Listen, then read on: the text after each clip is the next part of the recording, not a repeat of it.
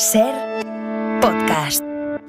Hola, muy buenos días. Van a pasar muchas cosas esta semana. Hoy mismo los candidatos andaluces se miden en el primer debate electoral de la campaña y mañana Pedro Sánchez y Alberto Núñez Feijó se enfrentarán por primera vez en la sesión de control en el Senado este fin de semana en una especie de precalentamiento. Se han cruzado ya varios mensajes en los mítines. El Parlamento no puede ser un lugar donde se compra el voto de partidos independentistas con independencia de cómo vaya el país. La improvisación y la desunión de la política española está produciendo impactos en la economía de las familias. El gobierno socialista, el gobierno de coalición progresista, siempre ha tenido claro cuál es su horizonte y es proteger a las familias y proteger a las empresas y a la economía de nuestro país.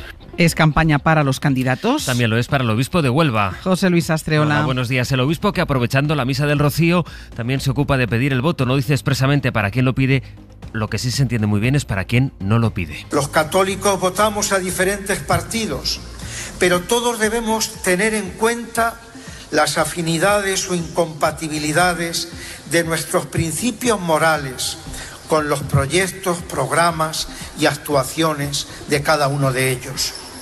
El reconocimiento, la promoción y la ayuda a la familia, comunión estable entre un hombre y una mujer abierta a la vida.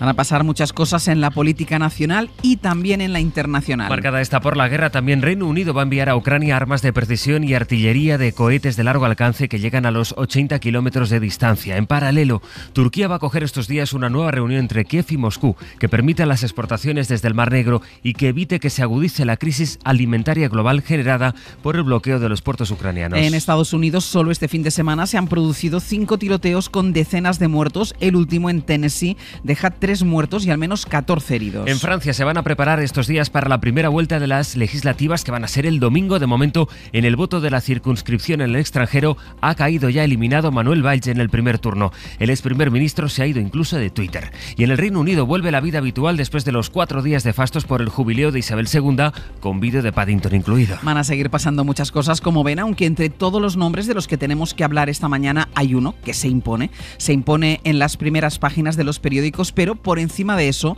se imponen los anuarios con los que se escribe, en este caso, la historia del deporte.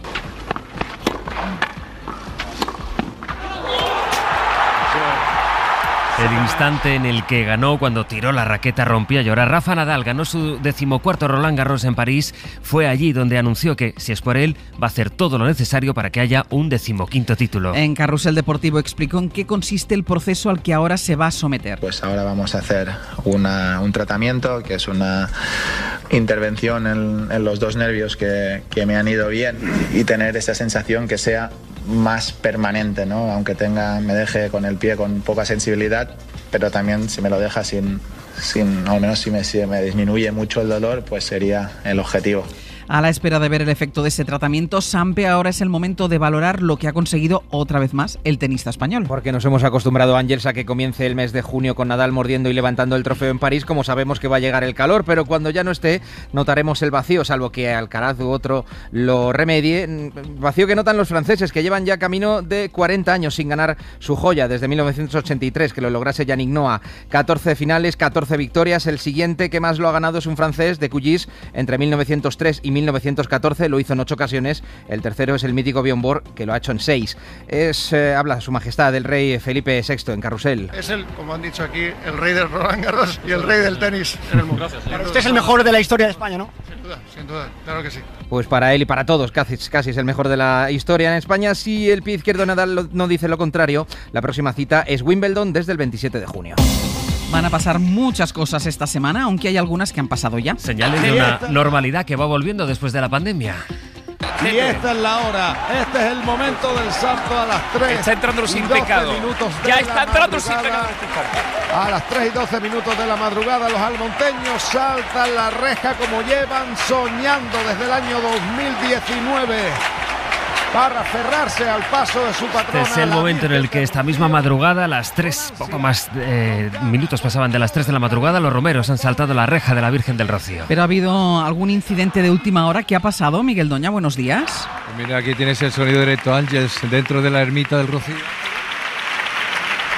La Virgen ha vuelto a su altar antes de lo previsto. A las 6 y 10 de la madrugada se producía pues eh, un acontecimiento no habitual, la rotura del paso.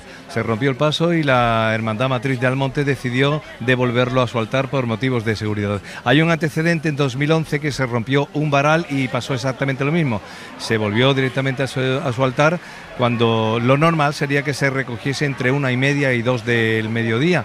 Eh, Aquí hay lágrimas en los ojos, sorpresa, porque además es un paso recién estrenado que se ha hecho con eh, aluminio aeronáutico y fibra de carbono. Se ha reducido a la mitad eh, su peso, ahora pesa aproximadamente 600 kilos y todo el mundo esperaba que diera buen resultado. Esto desde luego pues va, va a traer que pedir responsabilidades por un paso que se pretendía fuera muy seguro y más ligero y fíjate lo que ha pasado. Pero, Miguel- Estamos todos con los ojos atónitos. ¿Qué va a pasar? Porque claro, si la Virgen tenía que entrar entre una y dos del mediodía, ahora que ya se va todo el mundo a su casa. Pues no, no, no es eso. Sí, eh, lo que sí está pasando, que se ha dicho por megafonía, lo ha dicho el presidente de la matriz, eh, Santiago Padilla, es que las hermandades que esperaban que la Virgen les visitara, Claro. ahora tienen que coger sus sin pecados y acercarse hasta aquí, Ah. hasta la ermita, y pasarlo por delante de ella una a una por orden de antigüedad y volver a su casa en definitiva. Así que será un camino de vuelta de lágrimas en los ojos. Qué sorpresa nos hemos llevado. Miguel, muchísimas gracias. A ti siempre, Ángel. Hasta luego. Es lunes, es 6 de junio. Enrique García, buenos días. ¿Qué tal, Ángels? Buenos días. Hoy se cumplen 78 años del día D. A las seis y media de la mañana, 156.000 soldados aliados desembarcaban en Normandía. Fue una larga operación que culminó con la liberación de Francia y que supuso el comienzo del fin de la Segunda Guerra Mundial. Más de 4.000 soldados aliados perdieron la vida. Más de la mitad eran estadounidenses. Algunos de los veteranos, que eran entonces unos chavales apenas, han vuelto al cementerio que honra a los combatientes americanos que murieron en esta operación en los actos oficiales que se han retomado después de dos años de parón por la pandemia. Y terminamos la portada con el tiempo, Enrique. Hoy con lluvias en el norte y mucho calor en el sur. Entra un frente atlántico que va a dejar chubascos en Galicia, en Asturias y en Cantabria. Habrá sol en el resto de la península con más calor en Aragón y en Andalucía. Se van a superar los 35 grados en el Valle del Guadalquivir. Hoy por hoy. Ángeles Barceló. Después de algo más de un mes sin ataques en la capital, el sonido de las bombas ha vuelto a escucharse en los alrededores de Kiev. El ejército ruso ha bombardeado este domingo varias zonas del extrarradio y aunque los ataques no han dejado víctimas mortales, las autoridades han denunciado importantes daños materiales. Hoy se cumplen 103 días de guerra y mientras la ofensiva rusa sigue concentrada en el Donbass, aumentan las amenazas del Kremlin para redoblar los ataques ante la inminente llegada de más material militar por parte de Estados Unidos.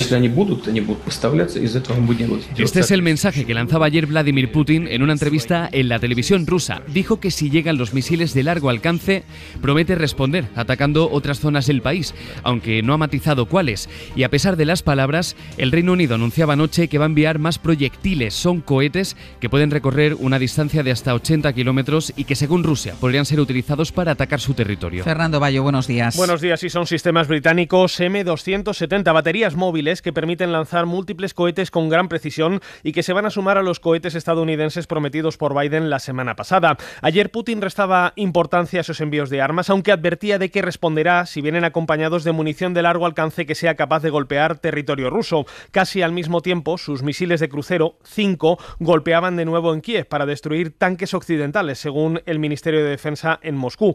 Aunque lo peor de la guerra continúa estando en el este de Ucrania.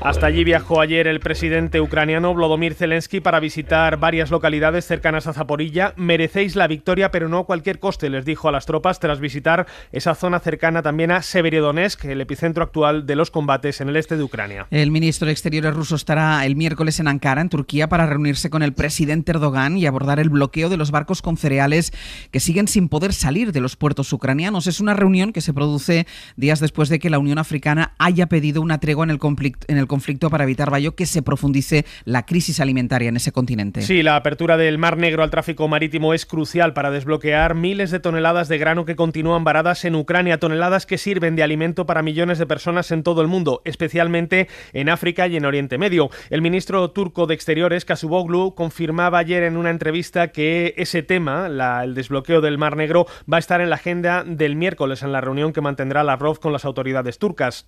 En una reciente conversación telefónica entre los presidentes de Turquía y Rusia, ambos se mostraron dispuestos a facilitar el tránsito marítimo de mercancías por esa región crucial, como decimos, para el tráfico mundial. Esta noche, por cierto, el ministro ruso de Exteriores, Sergei Lavrov, ha tenido que suspender una visita prevista a Serbia porque los espacios colindantes de Macedonia, Montenegro y Bulgaria le han cerrado el espacio aéreo. Serbia es de los pocos países que mantiene aún estrechos lazos en Europa con Rusia y, de hecho, no ha apoyado las sanciones contra el Kremlin. Otra consecuencia de la guerra pasa por el aumento del precio de los carburantes y para atajarlo se están produciendo movimientos que nos resultarían inauditos hace apenas unos meses. El último llega desde Venezuela, donde Nicolás Maduro confirmaba ayer que Washington ha autorizado que las petroleras extranjeras vuelvan a operar en el país. Se están dando pasos, los primeros pasos. Estados Unidos hace una semana dio unos pasos eh, leves pero significativo. Lo que ha hecho Estados Unidos es suspender algunas de las sanciones que impedía que empresas como Repsol operaran en ese país, en Venezuela. Así que las petroleras vuelven a enviar crudo venezolano a Europa para reducir la dependencia energética con Rusia. La crónica internacional de este lunes sigue escribiéndose también desde Ucrania, pero también desde Estados Unidos. Another mass shooting in the United States, this time in Philadelphia. Where three people are dead, at least 11 others injured. Porque se han registrado, ya lo escuchan, cinco tiroteos masivos durante el fin de semana que han dejado 13 muertos. El más mortífero en Filadelfia, con un saldo de tres muertos y decenas de heridos en una zona de ocio nocturno. El control de las armas sigue monopolizando el debate público estadounidense y mientras Joe Biden urge al Congreso un plan para limitar la venta de armas, los congresistas muestran pocos avances para lograr un consenso, Gillian. Y además varios senadores rebajan las expectativas de Biden. Si se llega a un acuerdo, no serán los términos que quiere el presidente. Y que nada va a pasar a corto plazo, lo decía el asesor del grupo republicano en el Congreso, Scott Jennings. El camino puede ser el que ya marcó el Estado de Nueva York y simplemente establecer leyes de bandera roja. Eso significaría que un Estado podría plantearse restringir el acceso a las armas de personas con problemas mentales. Y los demócratas se agarran a los datos y a las encuestas. Como decía Virginia Sacramento, congresista, las encuestas muestran un fuerte apoyo constante para ampliar las verificaciones de antecedentes para los compradores de armas. Los republicanos y demócratas están de acuerdo en que tienen que hablar, en que algo tienen que cambiar, pero no se ponen de acuerdo en el qué. Los republicanos no quieren poner límites al derecho de portar arma y los demócratas piden aumentar la edad legal para portarlas y restringir su compra. Las 7 de hoy por hoy. Ser podcast.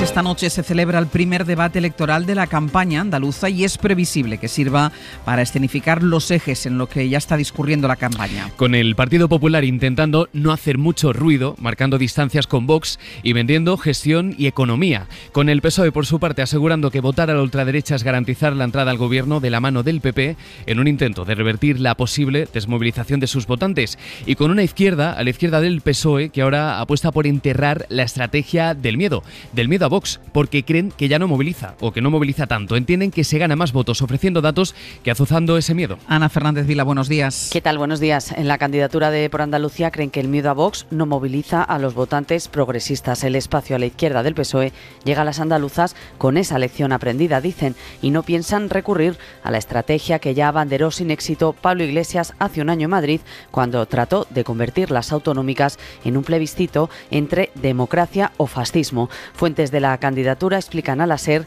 que no pueden caer en el error, dicen, de ser la antítesis de Vox y que el objetivo debe ser polarizar con el PP y desenmascarar la gestión de Moreno Bonilla con propuestas y con datos, como hace precisamente Yolanda Díaz cada vez que se enfrenta a la derecha y a la ultraderecha en el Congreso, señalan las fuentes consultadas. Ella es su referente en esta campaña y en ella se refleja la candidata Inma Nieto, que tiene también el reto de no dejar que las tensiones internas en las que nació envuelta la candidatura desanimen aún más a sus votantes.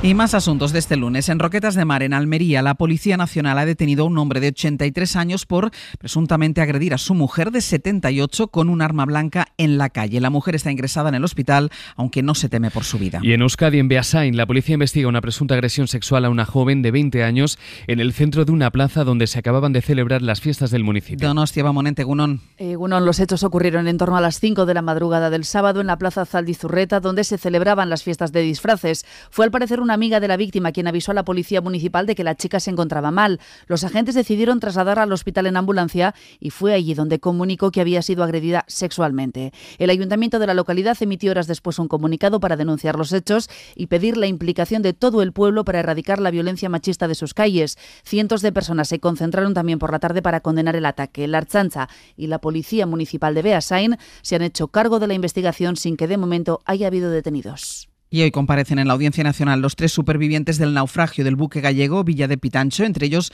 el patrón del barco en calidad de investigado Galicia Saime López Bodía. Bodía está previsto que las declaraciones comiencen a las nueve y media. El patrón Juan Padín declarará en calidad de investigado en medio de la polémica por sus cambios de versión, mientras que su sobrino y Samuel Cuesi lo harán como testigos. Esto después de que el juez Ismael Moreno emitiese un auto asegurando la existencia de indicios que permitirían imputar al menos 21 delitos de homicidio por imprudencia grave y contra los derechos de los trabajadores al patrón. Las familias de los desaparecidos esperan que la audiencia impute tanto a Padín como a su sobrino.